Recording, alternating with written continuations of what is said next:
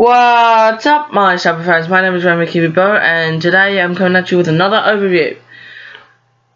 Like always, the, this video does contain dull nudity, so if you are sensitive to that type of thing, one, you have been warned, and B, if you're very sensitive to that type of thing, please click off the video. Anyways, um, today I will be I will be overviewing my repaint for Lagoona from Scarrier Reef. So, um, that tail's very long. Eh. Alrighty then. So, um, this one is going to be. Yeah, I'm not to make it quick video. I'm to go into every detail as possible. So, start off with the face. Um, actually, first off, I did straighten her hair. So, you know, you, you, don't normally see, again, you don't normally see um, fishes with um, tied up hair, especially mermaids. So, um, I put a lot of detail into her, even though she is quite simple repaint, I did do a lot of detail. Um, actually, uh, with her varnish, I actually wanted her to have that little kind of wet glow to her. So, um, although she is quite sticky, so I might have to do my little technique. Okay, I'll show you what I do when I do kind of like a video of some sort. So, I wanted kind of like this little bit here to match kind of the rest of the body, which is what I'm going to get onto now. Let's just move our arms. Now moving on to the top half of her. Now I wanted it to be kind of like a blue going into kind of like she's she's pretty much like an ice mermaid really.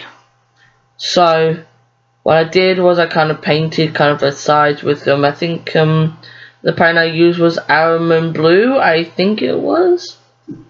Uh, by the actual color, I think it was Aramon blue.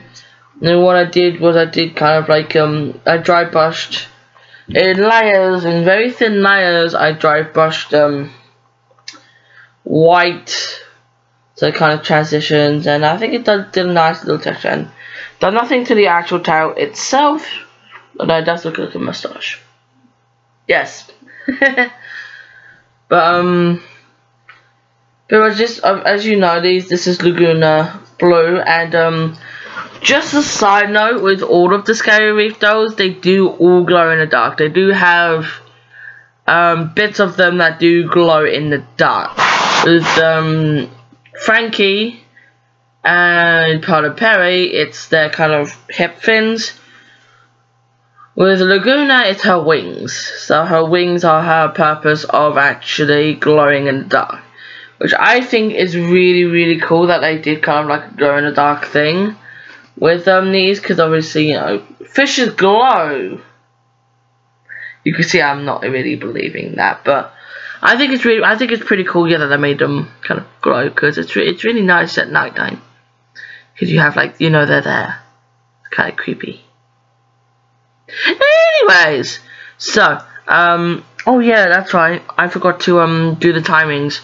Um, all of them took about maybe two days to repaint uh, due to the fact of straightening hair, waiting for the hair to dry, then repainting it, then doing the body, and stuffy, stuffy, stuff like that. Um, so they all took about two to three days to paint, apart from one of them that took a few days, maybe a week, to repaint.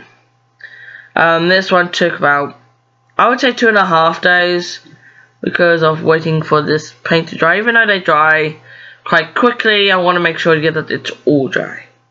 So, and second I have to varnish them as well. So, this is Lagoona. Hope you enjoyed it. Hope you guys enjoyed uh, I'm not taking that out. I'm keeping that in. What's hard? I can speak today. It's funny since this is the only video I actually fucked up with. so, start again. Hope you guys enjoyed the video. I enjoyed making it. And as always, I will see you in... Actually, by the time this video is uploaded, it'll be Q&A day. Or I'll be recording Q&A. So, yeah. I will see you guys in the Q&A video on Thursday. Wait a minute, I don't know, I don't even know which one I'm going to be uploading first. I'll see you in the next study video. Stay plastic.